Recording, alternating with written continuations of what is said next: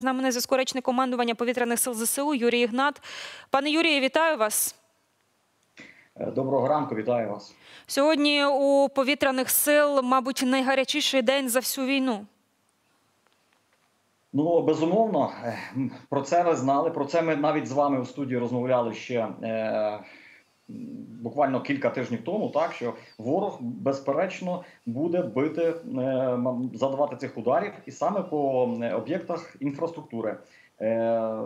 Дещо увага була відвернута до дронів камікадзе, але це було неминуче. Це все і розвідка про це говорила, і всі експерти, які були. Тому сьогодні маємо такий день. Можливо, е, ще тепло на вулиці. Так, можливо, вони хотіли це зробити трошки пізніше, так але ситуація із Кримським мостом, мабуть, підігріла кровожерливість е, кремлівського е, диктатора. І от шостої ранку ми бачимо, що дійсно один з наймасованіших е, ракетних атак. Безумовно, це не, порівняти там із 24 лютого, як е, сталося в перший день е, ті ті атаки. Але сьогодні вже маємо е, 83 е, фактично е, ракети, які прилетіли по нашій державі.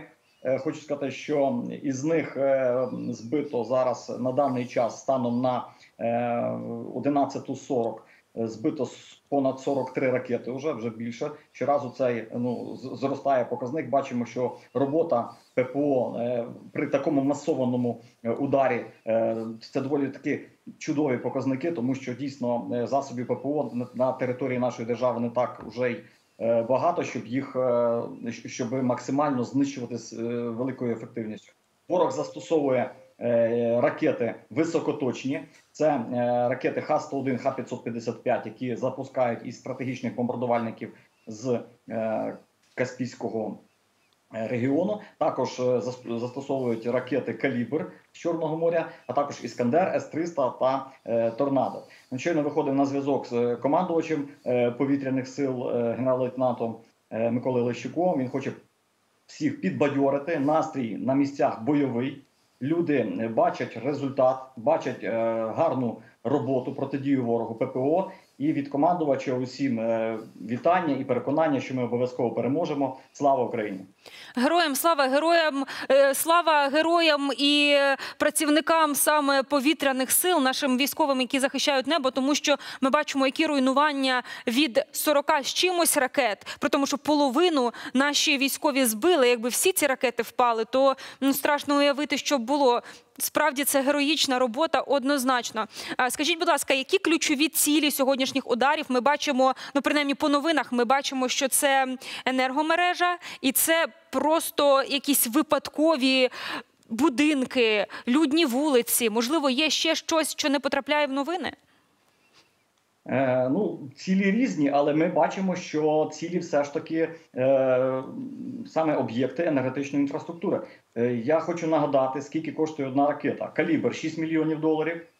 І е, Х-101 близько 13 мільйонів доларів. Ви можете уявити, скільки мільйонів зараз вони випускають для того, е, щоб зрозуміло, що ми відновимо і енергетику, так і буд- будуть е, працювати день і ніч е, наші люди ну по областях енерге- маю на увазі та енергетиків, які зроблять це для того, щоб ми були зі світлом і з теплом.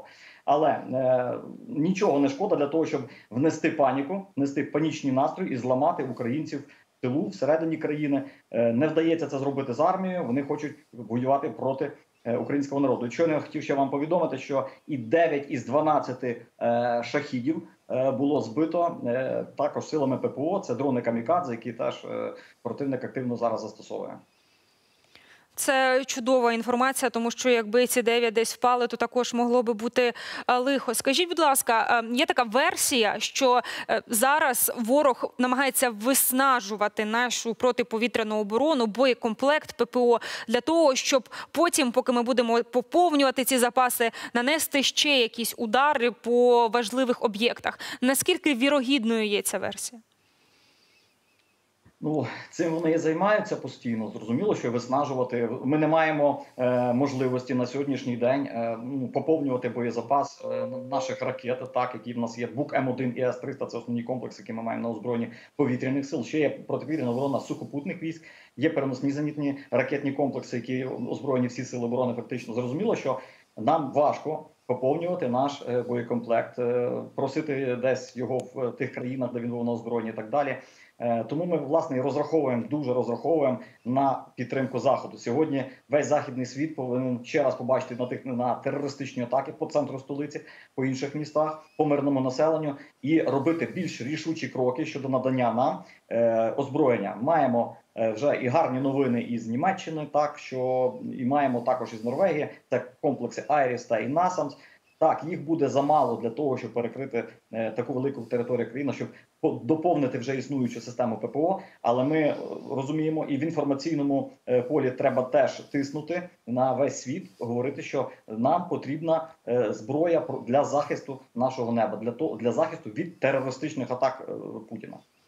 Ну я дуже сподіваюся, що сьогодні у західних столицях подивляться на фотографії з Києва, центр міста. Люди просто восьма ранку їдуть на роботу тією дорогою, якою мій чоловік їздить на роботу, і туди прилітає просто згорілі автомобілі. Ми вже знаємо про вісім жертв. Скільки їх там насправді дізнаємося пізніше, коли вдасться загасити це полум'я. Скажіть, у ті літаки стратегічної авіації, які сьогодні вилітали, е, це де? Це Каспійське море, Білорусь. Звідки? Це е, вони злітають зазвичай з району Астрахані. е, Так, і залітають на північ Каспійського моря і звідти здійснюють пуски. Е, Ракети Х-101 е, можуть долати відстань у 5500 кілометрів. Тому неважливо, звідки їх запускають, важливо, який прокладають маршрут, як намагаються ці ракети, як калібра, так і ці, що я назвав, обманути нашу систему протиповітряної оборони. Зрозуміло, що ворог напередодні ракетних будь-яких обстрілів здійснює е, повітряну розвідку, здійснює космічну розвідку, е, здійснює наземну розвідку і вишукує е, слабкі місця нашої протиповітряної оборони для того, щоб обійти ракета може летіти ж не по прямій, вона може там кружляти фактично, який маршрут їй зададуть, як нею будуть управляти для того, щоб вона не була збитою. Ті тактичні прийоми ворог застосовує. Зрозуміло, що наші зенітники теж мають протидію таким ходам і, і вишукують, виловлюють їх на різних напрямках. От, власне, от, от як Угу. система в цих умовах. Зрозуміла. Дякую вам дуже за те, що долучилися. Юрій Ігнат, речник командування повітряних сил збройних сил України, був з нами на зв'язку справді героїчних повітряних сил збройних сил України, тому що ворог уже випустив понад 80 ракет по Україні. Про це пан Юрій нам зараз повідомив. І більше половини з них наше ППО збило. Це те, що можуть зробити вони, те, що можемо зробити ми, залишатися в укриттях, допоки не буде відбою тривоги. На цьому я з вами прощаюся, переміщаюся в укриття і